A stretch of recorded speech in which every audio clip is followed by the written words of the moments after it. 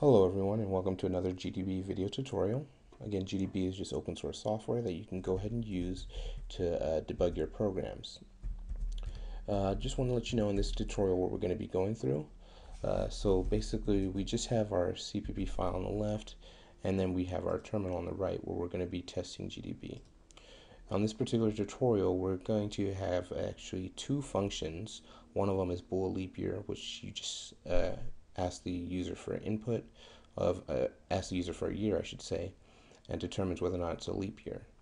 And then we also have another function factorial, which just asks for a number, and then it determines whether uh, it calculates the actual factorial for that particular number. The uh, process or the actual tutorial is mostly going to be on this particular function, this simple fork function.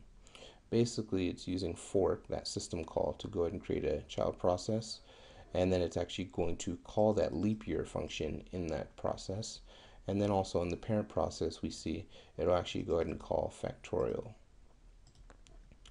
So let's go ahead and begin. So I've already compiled and now I'm just going to do GDB and then the name of the executable and we have our GDB prompt running.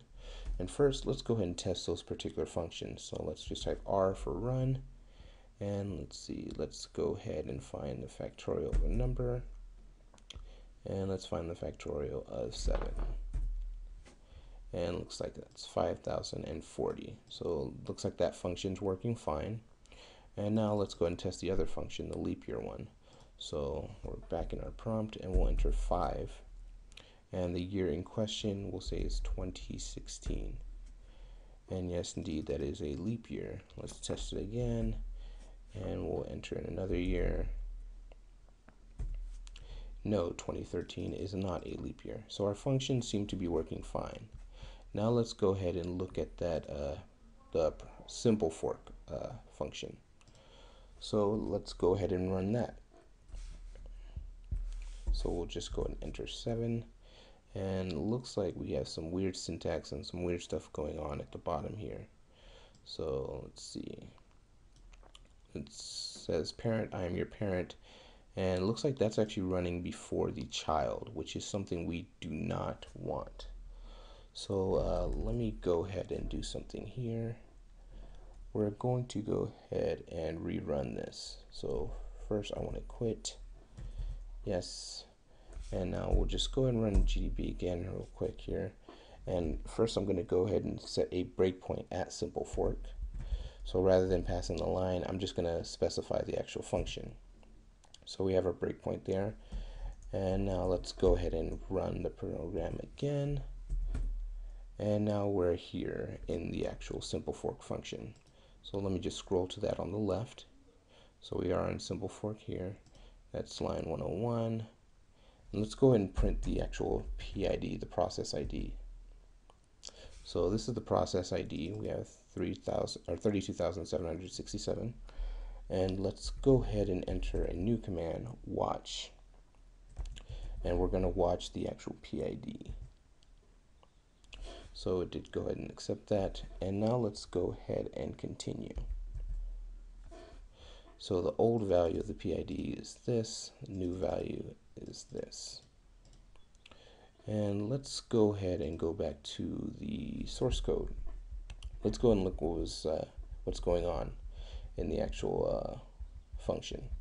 So we know our child process should have been executed first. That leap year should have been queried first. And we can scroll back here to see that that actually was not the case. So yeah, the parent was actually going first, which is what we do not want. So why is that? Well, uh, just for convenience, I actually commented out this particular wait. So that's actually the reason why the uh, parent was actually going first. It wasn't waiting for the child to actually go and uh, complete. So now we're going to go ahead and fix that. And we've saved. We'll quit GDB. And let me just clear the screen and we're going to go ahead and recompile and GDB and let's see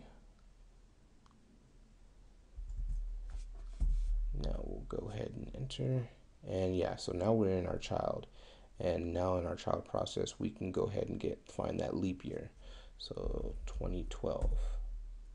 Okay. Yes, 2012 is a leap year. So that process did go ahead and uh, complete. Now we're in the parent process. Let's go ahead and enter a number, to find the factorial. We'll enter 9. And yeah, we get the correct uh, the correct solution there for the factorial 9. And so that's just a simple way you can go about debugging and using system calls uh, with it.